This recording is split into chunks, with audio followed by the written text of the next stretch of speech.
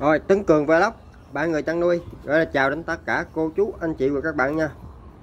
Đây, đây là sản phẩm của ờ, Chagolai nghe anh em. Rồi, rất là đẹp. Con này ờ, con này con bê cái nghe anh em. Thì mình quay quay chi tiết con bê cái này cho tất cả các anh em cùng xem nha.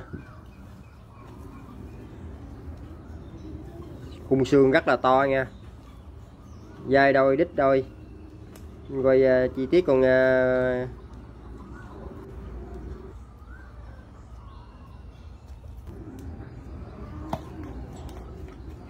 đó là dàn đít đó nghe anh em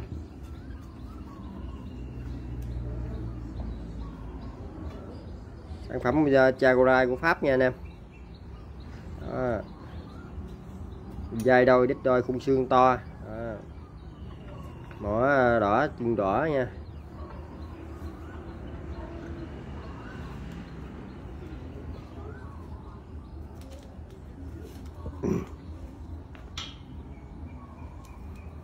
con mẹ cũng rất là đẹp nha anh em. Mẹ cũng rất là lực.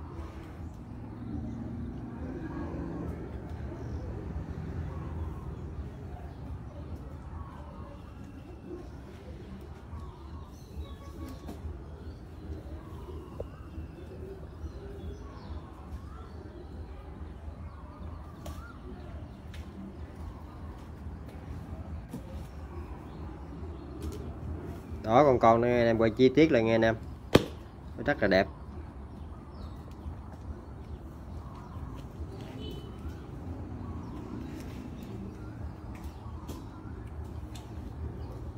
Tới đẻ thì một ngày tuổi hay nha. Con mẹ đấy anh em. Rất là to. Quay xa cho các anh em cùng xem. Bầu vú mát sữa nha à, thích hợp để nái nuôi con nha anh em.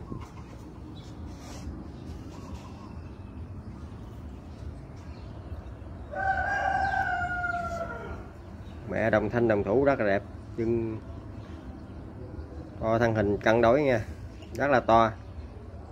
Con này đẻ là con đực là rất là ok nha anh em nhưng con cái cũng rất là đẹp rồi đó.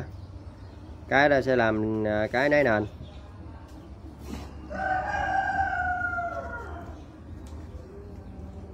Đó, quay lại con con cho các anh em cùng xem nè.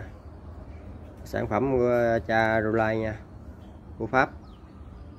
Rồi anh em nào muốn ờ, cái dao tinh bò, liên hệ số điện thoại của mình là 0979 651 243 gặp trực tiếp mình nha anh em. Nhận dao tinh bò ở khu vực ờ, Vĩnh Long và Đồng Tháp nha. Anh em nào có ờ, yêu quý kênh, đăng ký kênh, nhớ nhấn chuông để nhận tất cả các thông báo sau rồi mình sẽ làm ra những video, chia sẻ những kinh nghiệm thực tế nha anh em.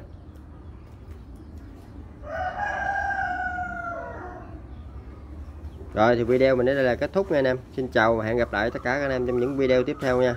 Chào tạm biệt tất cả anh em.